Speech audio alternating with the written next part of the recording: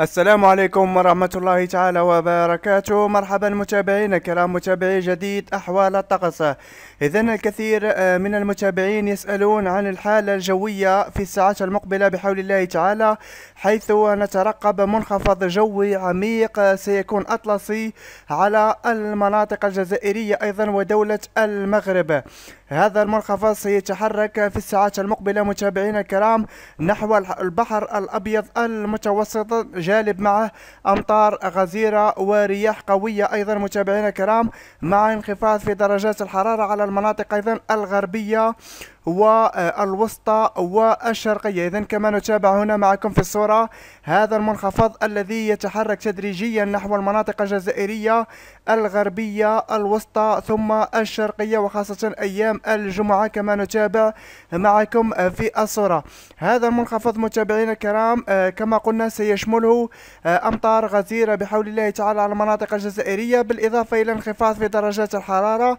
آه، هنا نشاهد المنخفض في في المناطق آه، دولة المغرب. هنا يبدأ آه، في التمركز على المناطق الجزائرية خاصة الوسطى التي آه، سيعطينا أمطار معتبرة. هنا نشاهد معكم في الصورة خاصة الجمعة ليلا يتحرك إلى المناطق الشرقية بالتدريج مع أمطار متفرقة بحول الله تعالى. أذكر متابعينا الكرام أيضا آه، ستكون آه، درجات الحرارة منخفضة بحول الله تعالى إلى غاية الثامن والعشرين والتاسع والعشرين من شهر أجويلية لكن متابعينا الكرام أذكر هناك موجة حر عنيفة ستضرب المناطق الجزائرية دولة المغرب بالإضافة إلى تونس الأيام القليلة القادمة والأسبوع الأول من أوت. إذن استعدوا متابعينا الكرام استمتعوا بهذه الأجواء الباردة استمتعوا بهذه الأجواء الممطرة. على المناطق آه، الوسطى والشرقية وبعض المناطق الغربية. موجة حر قوية ستشمل كل المناطق الجزائرية الصحراوية قد تصل ل 50 درجة.